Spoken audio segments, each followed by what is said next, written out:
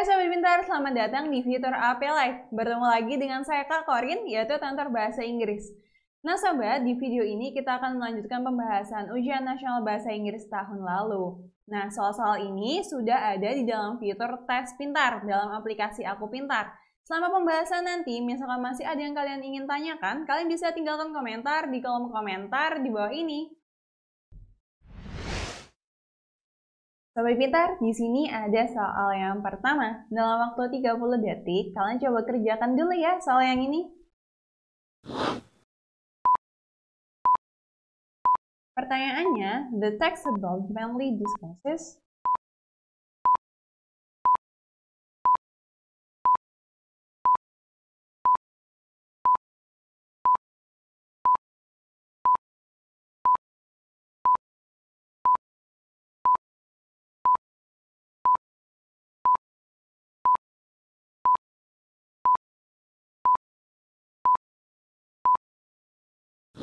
Sobat, gimana? Kalian sudah coba kerjakan soal yang ini? Nah, sekarang kita coba bahas bersama ya. Nah, di sini itu ada sebuah teks. Nah, sekarang kita langsung fokus ke pertanyaannya. Pertanyaannya itu adalah the text above mainly discusses. Jadi, kalau misalnya pertanyaan kayak gini aja dengan menanyakan apa sih main idea dari teks tersebut. Nah, kalau misalnya menanyakan main idea, kita itu bisa fokus membaca di paragraf pertama ataupun untuk mendukung nih uh, buat meyakinkan lagi itu bisa di paragraf yang terakhir itu misalkan teks tersebut memiliki paragraf yang kesimpulan yang dia Oke, nah sekarang kita fokus di paragraf pertama terlebih dahulu. Di paragraf pertama ada there is no best way to deal with pest in agriculture. Nah di sini itu maknanya udah nggak ada cara yang lebih baik lagi untuk deal with pest. Di sini kakak tulis Pes itu dia maknanya adalah hama. Jadi, uh, udah nggak ada cara yang lebih baik lagi untuk mengontrol hama di agriculture. Nah, selanjutnya, kalimat selanjutnya, pesticides which are commonly used. Pesticide, kalau misalnya yang pesticide itu mungkin kalian sudah lebih sering dengar, yaitu pestisida maknanya. Jadi pesticide which are commonly used itu maknanya adalah pestisida yang sudah sering digunakan may cause many problems. Mungkin saja menyebabkan banyak masalah. Selanjutnya, I think combining different management operation is the most effective way to control pests. Nah, di sini I think, I-nya di sini adalah si penulisnya ya sobat. I think si penulis ini berpendapat bahwa mengkombinasikan operasi manajemen yang uh, berbeda itu adalah cara yang paling efektif untuk mengontrol hama. Nah, berarti di sini untuk kalimat atau kata-kata yang the most effective way to control pest ini adalah goalnya dari yang akan mereka lakukan. Nah, apa sih yang mereka lakukan? Yang mereka lakukan adalah yang ini, sobat. Combining different management operation. Nah, berarti di sini kita sudah mendapatkan keyword bahwa di paragraf ini itu akan menjelaskan tentang kenapa sih mengkombinasikan uh, manajemen operation yang berbeda itu adalah cara yang paling efektif gitu sobat. Itu ya yang bisa kita temukan keywordnya. Nah untuk meyakinkan lagi kita bisa baca di paragraf terakhir di sini. Therefore, integrated pest management is a safe and more effective option fight pests in agriculture and livestock. Nah, di sini therefore oleh karena itu integrated pest management. Integrated itu sama aja maknanya mengintegrasikan atau mengkombinasikan tadi beberapa hal yang berbeda. Tadi kan di paragraf pertama menggunakan frasanya adalah combining different something. Nah, kalau misalnya di paragraf yang terakhir, di paragraf kesimpulan itu mereka menggunakan integrated, yang di mana maknanya itu serupa. Integrated pest management is itu uh, integrated pest management, manajemen hama yang berintegrasi, yang terintegrasi itu adalah cara yang aman dan juga lebih efektif. Berarti kan memiliki ide pokok atau ide yang sama ya sobat dengan paragraf yang pertama. Nah sekarang kita lihat di, di opsi jawabannya. Di opsi jawaban yang A, the importance to manage pest control atau pentingnya untuk uh, memanage atau mengatur kontrol hama gitu sobat. Nah kalau misalnya ini kan kita memiliki ide yang serupa dengan paragraf pertama dan paragraf terakhir, jadi bisa kita simpan terlebih dahulu. Selanjutnya, the soil roles in pesticides effect that tadi itu belum ada pembahasan tentang soil roles atau peran si tanahnya. Jadi untuk opsi jawaban B bisa kita coret terlebih dahulu. Untuk opsi jawaban C, pesticide effects on the environment. Tadi pembahasannya tentang menyebutkan memang tentang pestisida, akan tetapi tidak spesifik ke efeknya itu seperti apa. Jadi untuk opsi jawaban C ini bisa kita coret terlebih dahulu. Untuk opsi jawaban D, pest immunity towards the chemicals, jadi ketahanan dari si hamanya itu terhadap bahan-bahan kimia. Nah, tadi belum ada pembahasan ke arah situ, pest immunity, jadi bisa kita coret terlebih dahulu. Opsi jawaban E, the importance of ecological balance tadi uh, lebih pentingnya itu dalam mengkombinasikan manajemen operation, bukan ke ecological balance-nya. Jadi bisa kita coret terlebih dahulu. Jadi sobat, untuk nomor ini dengan pertanyaan the text above mainly discusses, opsi jawaban yang paling tepat adalah opsi jawaban yang E, yaitu the importance to manage pest control atau pentingnya untuk mengatur kontrol hama. Gitu sobat. Nah, semoga kalian paham ya dengan penjelasan di nomor ini. Nah, Sobat Pintar, di sini ada nomor berikutnya. Dalam waktu yang sama, yaitu 30 detik, kalian coba kerjakan soal yang ini dulu. Pertanyaannya, from the text, we know that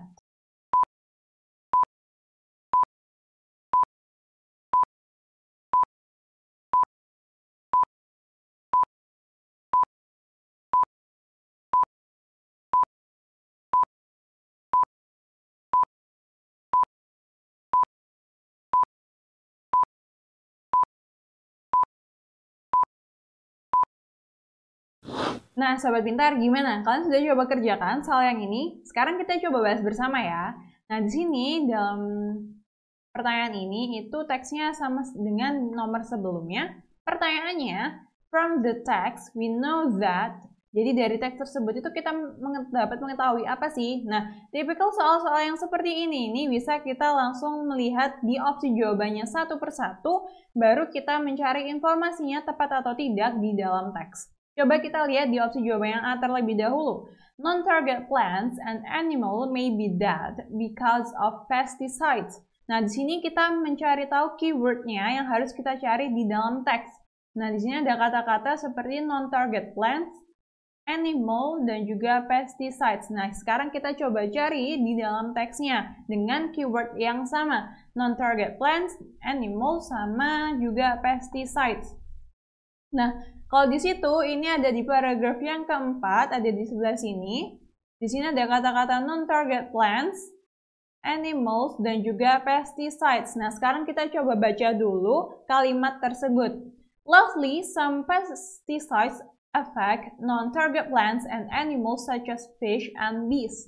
This affects the ecology and environment as well. Nah, di sini itu uh, maknanya di bagian akhir atau poin akhir itu beberapa pestisida itu mempengaruhi non-target plants dan juga uh, hewan. Contohnya tuh seperti ikan dan juga lebah, di mana hal tersebut itu itu mempengaruhi ekologi dan juga lingkungan di sekitar gitu sobat. Jadi untuk opsi jawaban A memiliki makna yang serupa dan ide yang sama dengan yang ada di dalam teks jadi bisa kita simpan terlebih dahulu. Untuk opsi jawaban selanjutnya, opsi jawaban B, dealing with pest is not important in agriculture. Nah, di sini kita coba cari tahu keywordnya itu ada pest dan juga agriculture. Nah, untuk uh, keyword seperti important ini biasanya di dalam teks itu memiliki sinonim yang uh, memiliki sinonimnya. Jadi kita nggak bisa menggunakan important itu sebagai keyword yang pasti. Kita gunakan pest dan juga agriculture. Sekarang kita coba cari di dalam teks, teks pest dan juga agriculture. Nah, di sini di paragraf pertama, kalian per, pertama kita bisa menemukan pest dan juga agriculture. Sekarang kita coba baca There is no best way to deal with pests in agriculture. Udah nggak ada eh, nggak uh, ada cara yang paling baik untuk deal dengan hama di agriculture. Nah di sini itu uh, idenya itu tidak sama dengan yang ada di dalam teks sobat. Di opsi jawaban B ini maknanya dealing with past itu nggak penting. Nah, tidak seperti itu yang disampaikan. Jadi tidak sesuai. Jadi bisa kita coret terlebih dahulu. Pokoknya setiap uh, tidak sesuai dengan isi teks, berarti itu bukan jawaban yang tepat. Oke? Okay? Sekarang kita lihat di opsi jawaban C. The soil can reduce the quality of farm products. Sekarang kita garis bawahi keywordnya. Di sini kita punya soil. Selanjutnya, quality of farm product, soil dan juga farm product. Sekarang kita coba cari tahu. Soil dan farm product ada di paragraf yang kedua. Firstly, di sini kita menemukan kata-kata soil dan juga farm product. Nah, sekarang kita coba baca dulu kalimat ini. Firstly, the chemicals in the pesticides may build up as residues in the environment and in the soil which absorbs the chemicals. These reduces the quality of farm product. Nah, maknanya pertama-tama chemicals atau bahan kimia yang ada di pestisida itu bisa saja menjadi residu di mana residu ini ada di lingkungan dan juga di tanah yang absorbs atau menyerap si bahan kimianya ini. Nah, these residues atau hal tersebut itu mengurangi, this reduce itu mengurangi kualitas dari farm product atau produk-produk ternak. Nah, di sini, this di sini kita coba cari tahu itu merefer ke mana sih atau merujuk ke mana? This di sini itu merujuk pada adanya bahan kimia yang ada di pestisida. Jadi, yang mengurangi kualitas dari farm product itu bukan soilnya, di sini kan yang opsi jawaban C dia soil kan. Nah, akan tetapi dalam teks itu bukan soilnya, akan tetapi the chemicals itself. Jadi untuk opsi jawaban C ini bisa kita coret terlebih dahulu. Nah, sekarang untuk opsi jawaban D, the pesticides are used to control pest effectively. Nah, di sini itu uh, kurang sesuai sama yang ada di dalam isi teks. Di situ ada pesticide, pest, dan effectively. Kata-kata tersebut itu berhubungan dengan di sini efektif, akan tetapi yang efektif di sini itu merujuk pada to combining, combining different management operation atau mengkombinasikan manajemen operation yang berbeda, bukan uh, merujuk uh, langsung hanya ke pestisidanya saja. Oke, okay? untuk opsi jawaban D ini bisa kita coret karena kurang sesuai sama yang ada di isi teks. Untuk opsi jawaban E, pesticides should be seen as the best pest control atau pesticide itu harus uh, terlihat atau dilihat sebagai pengontrol hama yang paling baik. Apakah seperti itu?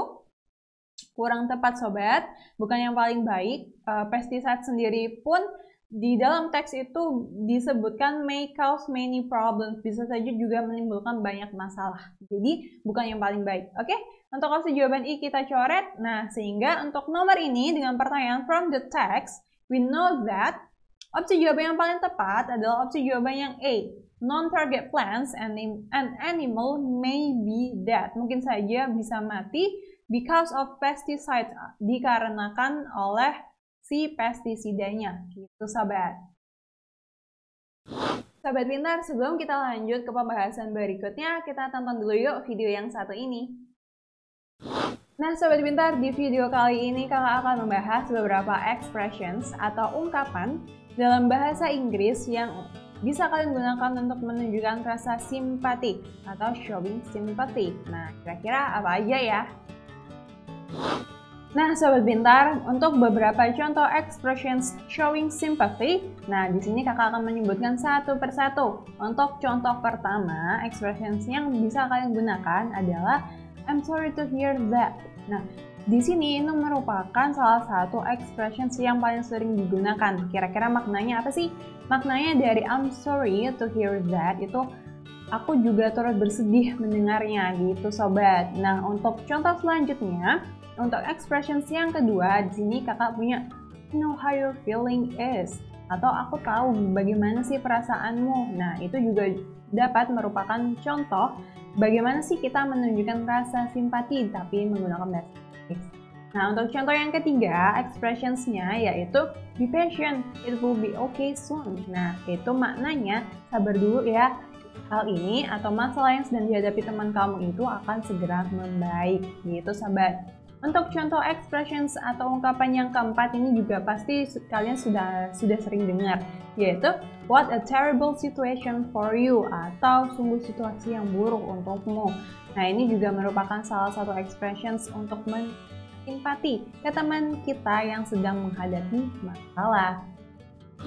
Nah, sobat pintar, selain untuk menunjukkan simpati nih, misalkan ada teman kita yang sedang menghadapi masalah atau mengalami kendala untuk melakukan sesuatu, kita bisa juga nih memberikan semangat. Nah, di situ di dalam salah satu konten After School di episode 3, kakak menjelaskan beberapa cara juga penggunaan yang berbeda dari bagaimana sih kita bisa menggunakan expressions atau ungkapan dalam bahasa Inggris untuk memberikan semangat. Sobat Pintar, semoga kalian paham ya tentang informasi yang kakak sampaikan barusan. Nah, sekarang kita lanjut yuk ke pembahasan berikutnya. Sobat Pintar, di sini ada soal berikutnya dengan waktu yang sama ya. Kalian coba kerjakan soal ini dulu dalam waktu 30 detik.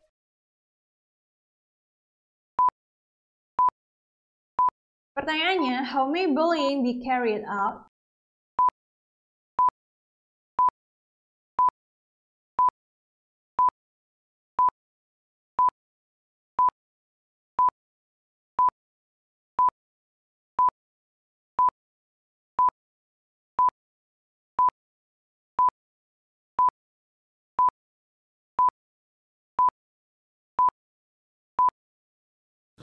Nah, sobat pintar, sekarang kita coba bahas bersama ya. Nah, di sini itu dengan teks yang tentang bullying. Pertanyaannya, how may bullying be carried out? Jadi maksud dari pertanyaan ini tuh apa sih? Jadi bagaimana sih kemungkinan bullying atau perundungan be carried out itu maknanya adalah dapat terjadi. Jadi bagaimana sih perundungan atau bullying itu dapat terjadi. Nah, sekarang kita coba bahas uh, dan temukan jawabannya di uh, paragraf pertama. Di paragraf pertama, bullying is the use of force or coercion to abuse or intimidate others. Nah, sini kakak coba buat vocabulary list. Jadi kalian juga bisa membuat vocabulary list seperti ini untuk lebih memahami maksud dari isi teks tersebut dan juga mendapatkan vocabulary baru atau kosakata baru. Untuk yang pertama, di sini kita punya kata misalkan force. Force di sini itu bermakna adanya penggunaan kekuatan atau juga adanya sebuah paksaan. Itu untuk yang force, oke? Okay? Bullying is the use of force or coercion. Di situ ada kata-kata coercion. Kakak tulis di sini. Coercion itu maknanya serupa dengan force itu tadi, yaitu paksaan. Selanjutnya, di situ kita punya to abuse. Abuse, apa tulis di sini? Abuse di sini itu maknanya adalah menyakiti. Itu yang abuse. Selanjutnya, to abuse or intimidate others atau mengintimidasi orang lain. Nah, berarti bullying atau uh, perundungan itu bisa terjadi dengan adanya penggunaan paksaan atau kekuatan untuk menyakiti atau mengintimidasi orang lain gitu. Jadi kata kuncinya itu. Nah sekarang kita coba cocokkan di opsi jawabannya satu persatu. Di opsi jawaban yang A, people impose coercion on us to abuse us. Di situ ada kata-kata misalkan impose. Kata tulis di sebelah sini. Impose sendiri itu maknanya adalah mengenakan mengenakan sesuatu atau memberikan. Jadi kalau misalnya di opsi jawaban A, people impose coercion on us to abuse us. Berarti orang ini memberikan atau mengenakan sebuah paksaan pada kita untuk menyakiti kita. Nah, untuk opsi jawaban A ini memiliki uh, ide yang sama dengan kalimat pertama tadi di dalam teks, jadi bisa kita simpan terlebih dahulu. Selanjutnya, people experience traumatic experiences atau people atau orang-orang ini mengalami pengalaman yang traumatik gitu. Nah, untuk opsi jawaban B ini kurang tepat karena di paragraf pertama di kalimat pertama tadi kurang mengarah ke arah situ terlebih dahulu. Jadi untuk opsi jawaban B bisa kita coret. Oke, bisa kita coret. Untuk opsi jawaban C, we reject an intimidation from others. Di sini ada reject Mungkin kalau reject bisa menjadi salah satu kata yang sering kalian dengar. Reject sendiri itu maknanya adalah menolak. Oke. Okay? We reject an intimidation from others. Apakah bullying atau perundungan itu saat di kita menolak adanya intimidasi dari orang lain? Kurang tepat sobat. Jadi untuk opsi jawaban sih bisa kita coret. Oke, perundungan itu saat uh, orang lain itu memberikan adanya sebuah paksaan untuk menyakiti kita. Untuk opsi jawaban D, we distribute equal treatment, di mana kita mendistribusikan equal treatment atau treatment yang adil atau sama dengan orang lain. Apakah seperti itu? Kurang tepat sobat. Jadi untuk opsi, jawaban D, bisa kita coret terlebih dahulu. Untuk opsi jawaban E, we make people regretful atau kita membuat orang lain itu regretful atau sangat menyesal. Tadi nggak ada ke arah arah penyesalan atau regretful. Jadi untuk opsi jawaban I bisa kita coret terlebih dahulu. Jadi sahabat, untuk nomor ini dengan pertanyaan how may bullying be carried out, opsi jawaban yang paling tepat adalah opsi jawaban yang A atau A. People impose coercion on us to abuse us atau orang itu memberikan paksaan pada kita untuk menyakiti kita. Gitu sahabat. Nah, sobat pintar, di sini ada soal berikutnya dalam waktu 30 detik. Kalian coba kerjakan soal yang ini dulu ya.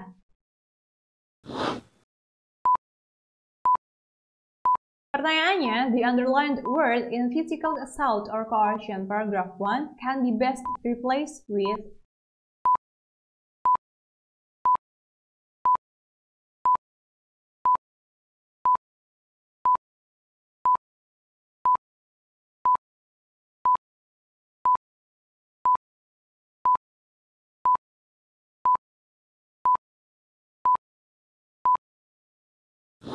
Nah, Sobat Pintar gimana? Kalian sudah coba kerjakan soal yang ini? Nah, sekarang kita coba bahas bersama ya.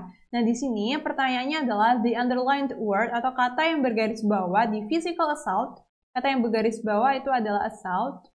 Yang ada di paragraf pertama, can be best replaced with, itu maknanya sama saja kalau misalnya ditanyakan sinonim. Nah, sinonim sendiri itu bermakna padanan kata. Jadi kita harus mencari tahu padanan kata yang tepat itu yang seperti apa sih. Nah, untuk yang ditanyakan sendiri, kakak tulis di sini untuk list vocabulary-nya. Untuk assault-nya sendiri itu memiliki makna terus di sini assault itu adalah penyerangan. Itu makna dari assault. Nah, sekarang kita coba cari tahu makna satu persatu di opsi jawabannya. Untuk opsi jawaban A, di situ ada defense. Defense di sini itu maknanya adalah pertahanan. Kita lanjut di opsi jawaban B, di situ kita punya retreat. Di mana retreat itu mungkin kalau misalnya kalian uh, pernah mainkan Mobile Legends atau sejenisnya, ada kata-kata seperti initiate retreat Retreat sendiri itu maksudnya adalah mundur.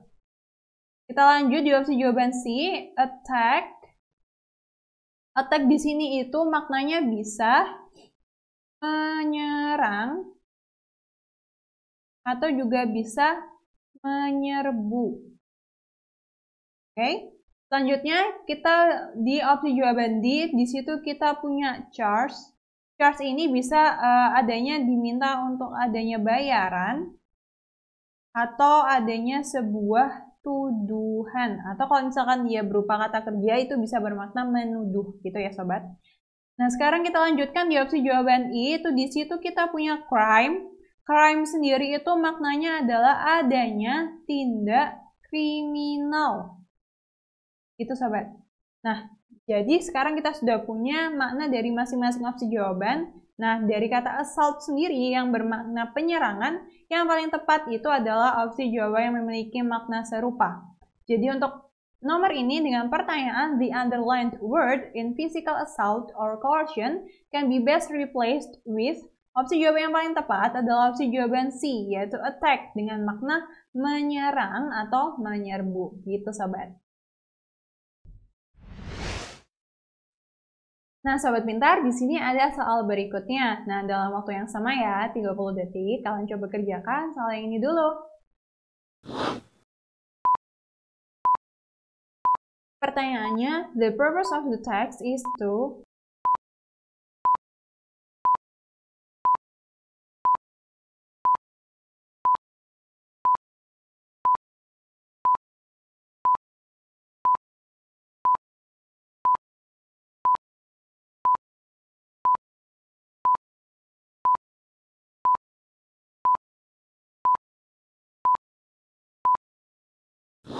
Nah, Sobat Pintar gimana? Kalian sudah coba kerjakan soal yang ini? Nah, sekarang kita coba bahas bersama ya. Nah, di sini itu soalnya tentang land reclamation. Untuk pertanyaannya, the purpose of the text is to, jadi tujuannya dari teks tersebut itu apa sih? Nah, kita coba mencari tahu tujuan si penulis menuliskan teks ini. Oke, sekarang kita lihat di paragraf pertamanya terlebih dahulu. Di paragraf pertama, land reclamation will definitely increase land area for a certain country. More land has been made available for development, more buildings and infrastructure can be built.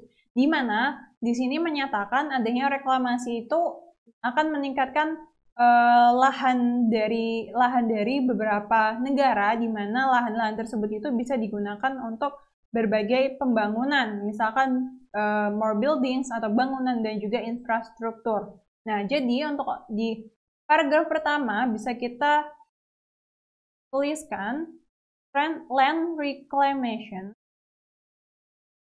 itu dapat meningkatkan increasing land area.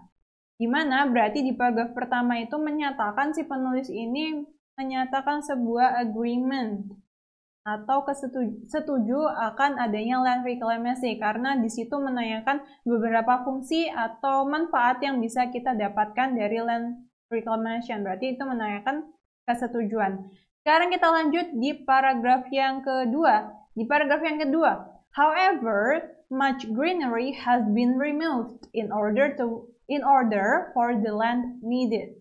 Nah, jadi di sini bagaimanapun, nah contoh-contoh bagaimanapun ini berarti menyatakan dua sisi yang uh, yang berbeda Kalimat selanjutnya, much greenery atau banyaknya penghijauan itu sudah dihilangkan hanya untuk memenuhi uh, kebutuhan lahan tersebut. Selanjutnya, land reclamation can be damaging to corals and marine life. Nah, di sini itu menunjukkan ketidaksetujuan karena di situ ada uh, sisi negatif dari land reclamation sendiri. Berarti di paragraf kedua itu tadi berhubungan dengan greenery yang uh, sudah dihilangkan hanya untuk memenuhi lahan yang dibutuhkan, land needed. Di mana ini menunjukkan paragraf itu disagreement atau ketidaksetujuan akan adanya land reclamation. Nah, sekarang kita sudah punya di paragraf pertama dan paragraf kedua, kita coba lanjut di paragraf yang ketiga. Di paragraf yang ketiga, di sini kita punya Finally, the reasons and examples look tempting to humans, but marine life is life too. We should try to protect it as much as possible instead of just focusing on the advantage. Nah, di paragraf ketiga ini lebih menunjukkan kata uh, ada kata-kata finally, di situ adanya conclusion atau kesimpulan di mana di situ menyatakan uh, bahwa hal tersebut itu memang baik untuk human, akan tetapi juga perlu memperhatikan adanya kehidupan di bawah laut, marine life. Di mana kalau misalnya kita bisa memperhatikan hal tersebut, itu bisa bermakna positif dari si land reclamation tersebut kalau misalnya kita melaksanakannya. Nah, akan tetapi ada negatifnya di mana kita itu tidak boleh hanya focusing on the advantage. Tadi kan mintanya jangan hanya fokus di uh, apa yang kita dapatkan aja, benefitnya aja. Jadi di sini juga menunjukkan hal atau sisi negatif dari land reclamation. Nah, kalau misalnya kita bisa tarik kesimpulan, di paragraf ini atau di teks tersebut itu menyatakan dua sisi yang berbeda. Mereka menyatakan positifnya itu bagaimana, tapi juga memberikan hal-hal negatifnya itu seperti apa gitu sobat. Jadi ada dua sisi perbedaan di yang disampaikan oleh penulis dalam teks tersebut. Nah, sekarang kita coba cocokkan di masing-masing opsi jawaban. Di opsi jawaban yang A, show different views about land reclamation. different views ini bisa kita simpan terlebih dahulu karena memang tadi menunjukkan adanya agreement, juga disagreement, ada yang positif juga negatif dari land reclamation. Jadi untuk opsi jawaban A bisa kita simpan terlebih dahulu. Oke? Okay? Untuk opsi jawaban B, influence readers to support land reclamation. Nah, di sini ada kata kunci to support. Ini kurang tepat sobat karena teks tersebut tidak hanya untuk mendukung saja, tapi juga harus memperhatikan efek-efek lainnya. Jadi untuk opsi jawaban B ini kurang tepat. Untuk opsi jawaban C, to persuade readers to support land reclamation untuk membujuk si pembaca untuk support lagi ini juga kurang tepat. Ini lebih harus memperhatikan banyak aspek ya. Jadi untuk opsi jawaban C ini kurang tepat. Untuk opsi jawaban D, explain how important land reclamation. Menjelaskan sepenting apa sih land reclamation itu sendiri. Nah, de, kalau misalnya kita lihat dari teks tersebut, tadi di paragraf pertama itu tidak uh, tidak hanya menyebutkan seberapa pentingnya, tapi juga langsung menyebutkan lebih banyak negatifnya seperti apa. Jadi tidak hanya ke satu sisi ini saja. Jadi bisa kita coret karena kurang tepat. Untuk opsi jawaban E, criticize about land reclamation. Criticize land about land reclamation ini kurang tepat karena kita harus mengetahui ini mengkritiknya ke arah yang mana, apakah ke arah yang mendukung atau ke arah yang tidak mendukung. Jadi untuk opsi jawaban E ini kurang tepat, jadi bisa kita coret. Untuk nomor ini dengan pertanyaan the purpose of the text is to, opsi jawaban yang paling tepat dan paling sesuai itu adalah opsi jawaban yang A atau A yaitu show different views about land reclamation atau menunjukkan beberapa sisi yang berbeda, perspektif yang berbeda dari land reclamation. Itu sobat. Semoga kalian paham ya dengan penjelasan di nomor ini. Sobat Pintar, itu tadi beberapa pembahasan naskah ujian nasional tahun lalu. Semoga kalian dapat memahaminya dengan baik dan juga bisa bermanfaat untuk belajar mandiri kalian di rumah. Selalu ingat terus ya untuk nonton AP Live dalam aplikasi Aku Pintar. Nanti jangan lupa nih buat like, comment, juga subscribe channel YouTube-nya Aku Pintar. Aktifin juga ya notifikasinya biar kalian gak ketinggalan video terbaru dari kami. Belajar pintar bersama Aku Pintar. Sampai jumpa!